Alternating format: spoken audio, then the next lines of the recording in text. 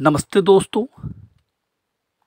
आज मैं आपको सनकिंग कंपनी का जो infinity वाइडेंटी plus 9 watt LED light bulb है, उसका होलसेल प्राइस बताऊँगा।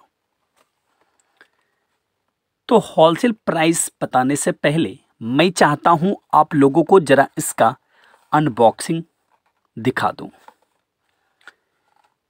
ये जो देख रहे हैं ना, छोटा सा पैकेट इसी के अंदर आपका एलईडी बल्ब है।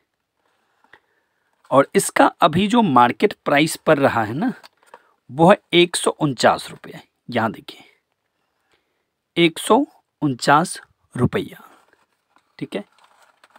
और यहाँ से क्या करेंगे हम लोग इसको ओपन कर लेंगे। कर लिए?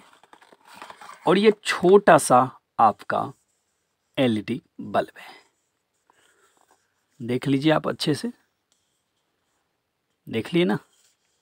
अब ज़रा आपको मैं इसका लाइट भी दिखाना चाहता हूँ।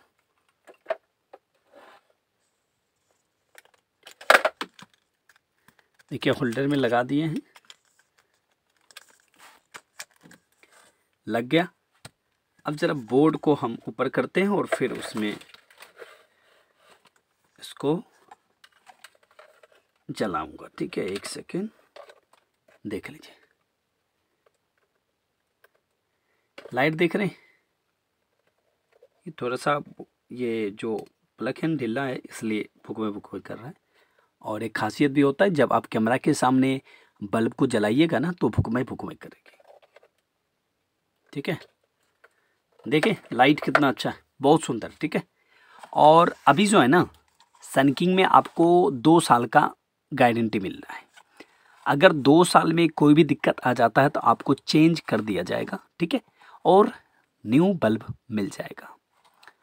तो इसका होलसेल प्राइस जानना है ना आपको? रुकिए। देखिए, अगर आप कार्टून खरीदते हैं ना तो एक सौ पीस आता है एक कार्टून। कितना पीस आता है? एक सौ पीस आता है एक कार्टून के अंदर। और कार्टून लेने पर यह आपको सिक्सटी एट के आसपास मिलता है। एक कार्टून लेने पर। लेकिन आप अगर दस बीस कार्टून लेते हैं तो हो सकता है थोड़ा और बढ़ जाए। क्या समझे? और फिर आने और जाने का जो भाड़ा लगेगा वो आपको लगता है। आप दीजिएगा, ठीक है? लेकिन अगर आप दस बीस पीस लेते हैं तो ये आपको सेवेंटी फाइव के आसपास मिलता है। और एक पीस अगर आप दुकान में लेते हैं तो आपको एक सौ बीस रुपया से कम नहीं मिलने वाला है ठीक है? एक सौ बीस रुपया में ये मिले मिलेगा, ठीक है? लेकिन आप चाहते हैं कि डिस्काउंट में ये मिले, एक पीस भी तो आपको न्यू डील आना पड़ेगा और न्यू डील में ये एक पीस जो बल्ब है ना, एक पीस, ये एक पीस एट्टी एट में मिल जाता है। और गारंटी भी सेम है, दो साल है, ठीक है?